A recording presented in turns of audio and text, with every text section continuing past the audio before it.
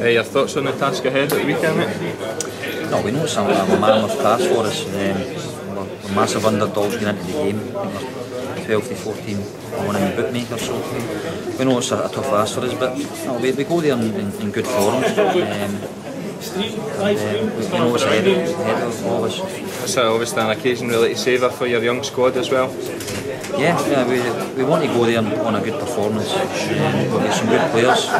We want to go there and express ourselves. Um, we don't want the game to pass them by. I think that's the biggest thing. We don't want to, because 40 odd thousand fans, let the game and pass them by. Go there and express ourselves, show got good players and, and we're a good team. Uh, Ibrox, a place you've played many times, is a player that going to be key to get that across to your players to help them cope with the occasion? I don't know. I mean, you never know how they're going to perform. Um, we want them to savour it, but we want them to go there to go there and compete. Um, you know, we might need to soak up a bit of pressure.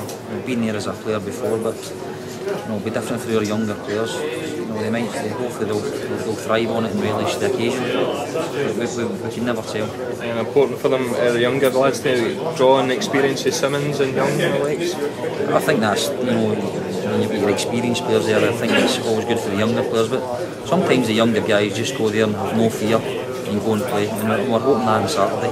And uh, yourself as a young manager, are you really relishing the chance to step up to the market at, at a game at Ibrox? Yeah, I think we're looking forward to it. Something new for me for being a manager. We're going to a big arena, big crowd, so go there and hopefully we, we can play well.